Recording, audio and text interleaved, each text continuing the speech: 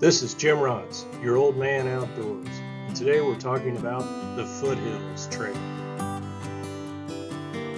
Long hikes in 2020 are looking less and less likely with each passing week, but there is still some hope that we'll be able to get out and take some shorter backpacking trips yet this year.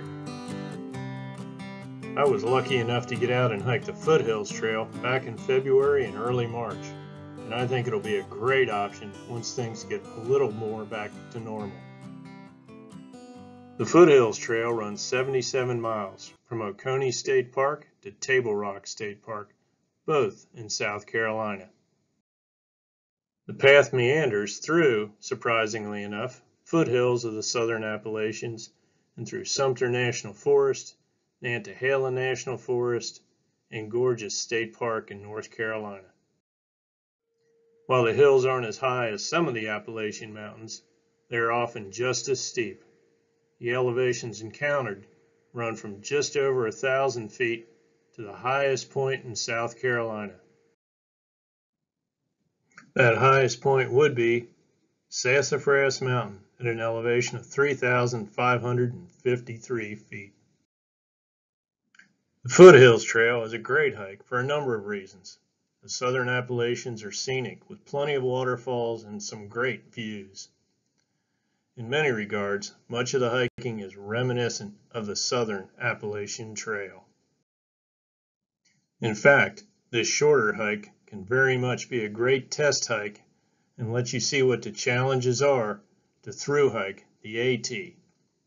My hike took me five days to complete, hiking again in late February and early March. Just because the trail is not as high as the AT, don't let the lower elevations fool you. This trail is not easy. At one point, Heartbreak Hill was climbing at a rate of over 1,600 feet per mile. For me, the real heartbreak was giving all that climb back over the next half mile, then doing it all over again. Of course, that is some great training for the PUDs, pointless up and downs, that are on the AT. The footpath itself is well constructed and well maintained with white blazes. The occasional flattish stretches are a joy to walk, but there's no getting around the power of gravity on those hills. Like much of the southern AT, water is plentiful. There are numerous creeks, streams, and lakes along the trail. There's even some impressive waterfalls for selfies, if you're into that sort of thing. Even though I was hiking in the spring now, I was able to rock hop any creek that wasn't already bridged.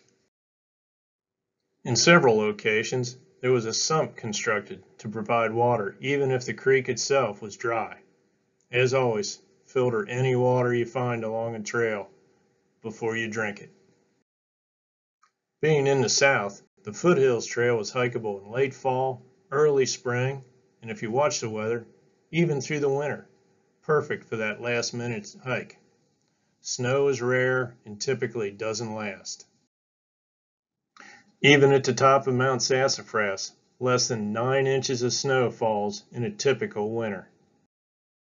On the other hand, summer hiking can be just a festival of humidity and insects. There are numerous spots to camp along the trail, many designed and built as Eagle Scout projects.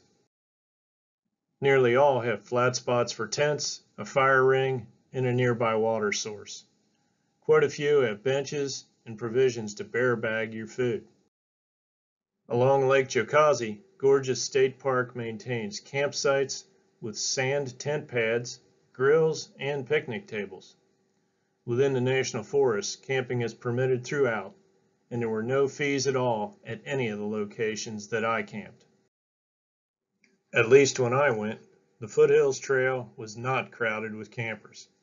I camped alone at three of the four locations and actually went two full days without seeing another hiker. The trail can be hiked in either direction, though starting at Oconee State Park puts off the biggest and steepest hills until your food bag has lost much of its weight.